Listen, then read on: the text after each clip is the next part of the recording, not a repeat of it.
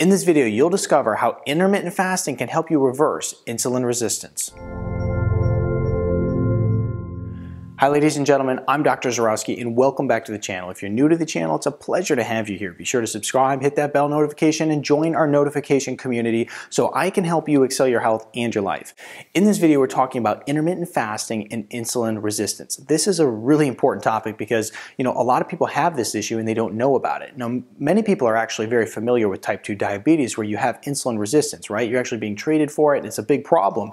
And if you don't get it taken care of, then you're going to have serious health health consequences as a result. But you know what is not so obvious is when somebody has some insulin resistance related to prediabetes, and it's estimated that 84 million Americans have insulin resistance, and they also find it to be one in three adults, and children have this too. So many children are consuming poor quality diets, and then only 10% of these 84 million people actually understand that they have this problem, and they're making steps towards going and reversing it.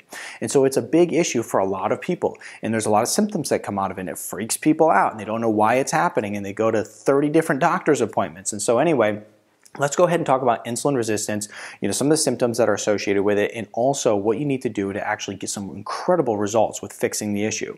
So when we look at insulin resistance, essentially what it is, is you're going to have a problem getting the blood sugar into the cell. And so what happens is as a result of that, the cell receptors, you know, having some issues and, and the insulin's been chronically high for very many years. So now the cell is starting to resist to insulin. So the blood sugar goes way up and the insulin goes way up. And so now you have chronically high blood sugar and insulin in the body body, which causes a whole bunch of different health conditions. So we have to make sure that we focus on reversing that.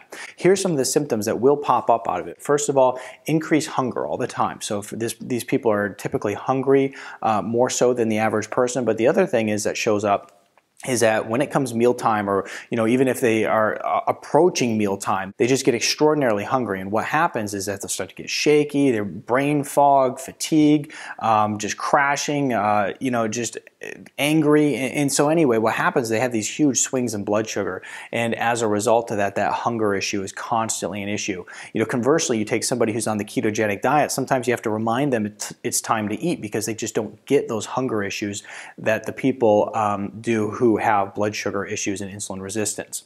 Next is increased thirst. Okay, so these same people are going to have a problem with uh, just being thirsty all the time. No matter how much water they drink, they just never feel satiated. So they just keep drinking and drinking, but still feel dehydrated. It's a really interesting concept, but that's how these people feel.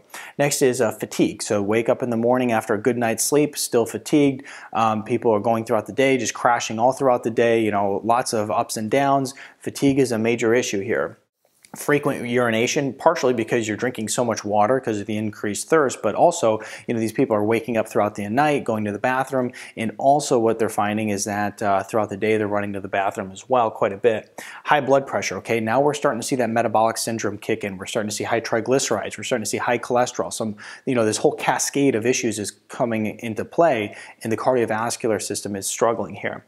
Uh, tingling in hands and feet this is a common symptom that kind of freaks people out here but with the insulin resistance resistance that can happen. And then also weight gain, okay? With the insulin resistance, even if you're doing calorie restrictive diet, essentially you have a hard time losing weight. And the reason for that is because insulin is high and insulin blunts the weight loss. So Let's talk about what to do about this now. First of all, you got to take the refined carbohydrates out. The re refined carbohydrates are going to just skyrocket that insulin and that blood sugar. We got to take that out and focus on keeping the um, insulin and blood sugar very low. Next is you want to take out the sugar as well, okay? Because you know not only does sugar drive inflammation, and, and, and we need to make sure that we're you know knocking that inflammation out of the body as we're focusing on healing the cell receptor, but we also want to make sure that we're taking that sugar out because it's going to once again drive that blood blood sugar and insulin level through the roof. Now, here's the deal is when you look at diet alone you can get some pretty great results when it comes to um, just dieting and, and, following the proper diet and, and, fixing this insulin resistance issue okay? But if you want to get incredible results here's how you do it. You add in intermittent fasting and the reason for that is intermittent fasting is going to help you stabilize the metabolism it's going to help you drive that blood sugar down it's also going to help drive that insulin level down to a further extent Now, the reason that this is so powerful is because it breaks a very bad cycle that's in the body. That's why like people who are doing calorie restriction and just diet alone, they just don't get the same good results. They can kind of get some great results while they're putting those actions in the play, but then once, you know, they're done with it or once they try to go back to, you know, a different style of diet, everything comes back to how it was. And so, if you do intermittent fasting, it breaks that cycle and helps improve insulin sensitivity. Now, here's actually a study on it. The Journal of the Academy of Nutrition nutrition and dietetics, what they did is they did a study that involved 107 people. They broke these 107 participants into two groups. One of them was a calorie restrictive group, and the other one was a intermittent fasting group. Now, both of them followed a Mediterranean diet, so they're both eating a good quality diet. Now, the calorie restrictive group was obviously eating less calories than the intermittent fasting group, okay? They did this for six months. And basically, what they found at the end of the study, both groups, the calorie restrictive group and the intermittent fasting group, they both actually went and lost weight and they actually were able to lose a bunch of fat. But the, here's the problem is the calorie restrictive group did not improve the insulin problem. They still had some insulin resistance, whereas the intermittent fasting group drastically improved insulin sensitivity, which is really amazing. And that's why you need to make sure that you have intermittent fasting combined with the proper diet. As a matter of fact, what I'll do is I'll go ahead and put a link below to my intermittent fasting reboot mini course that's completely free that'll help you get you well on your way in order to help you clean up your diet and do intermittent fasting because it's important that you actually do them correctly. Make sure you got to make sure you have the correct diet. You have to make sure that you are um, intermittent fasting properly in order to get those good results. So like I said in the beginning, only 10% of 84 million people know that they have this issue. Now, this isn't the diabetics, right? This isn't that category of people. This is the people who just think that they're completely fine, but they're having all these symptoms and they don't know why.